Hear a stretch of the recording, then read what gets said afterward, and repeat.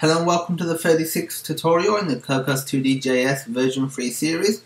In this part we're going to be looking at how to set the music's volume.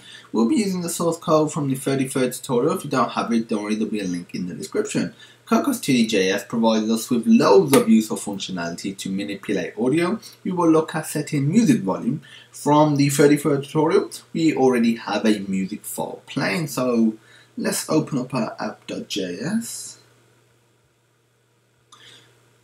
before we actually do anything, let's just run the application so you can see or hear what it does. This is playing music, but let's just run it anyway.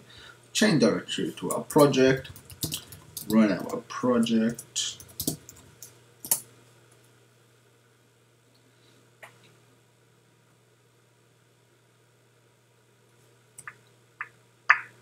Make sure volume is at its highest.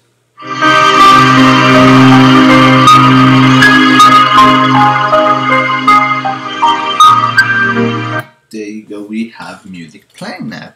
And to set the music volume, it is ridiculously simple.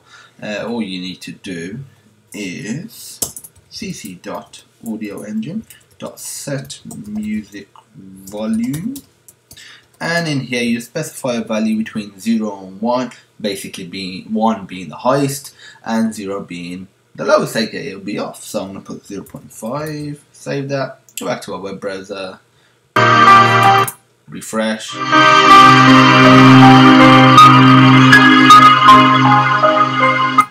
know if that changed or not I'm to put this to 0.05 if it doesn't change then chances are it's just a cache issue and I just need to remove the cache let's just see yeah, it's most likely a caching issue, so let's just clear the browsing data. Just the cached images file, that's all you need. And now if we go back to our website, as you can hear, it is a lot quieter now. I'm going to put it to 0.5, so it's a little louder but quieter than it was originally. Just open a new tab so you we stop hearing the music. So yeah, it is literally that simple to set the music volume. Little thing to know, the volume needs to be set after the music has started, otherwise setting the music volume won't work, aka we've played the music here and now we've set the music here. It doesn't have to be immediately after, but just after it. You can't put it before it because it just won't work. The next tutorial will cover setting up single touch events. If you have any questions, feel free to message us at support at sonarsystems.co.uk. The email will be in the description. You can comment on this video, just directly message us via YouTube, or the required link for source code will also be in the description. And as usual, thank you for watching, and I hope you have a great day.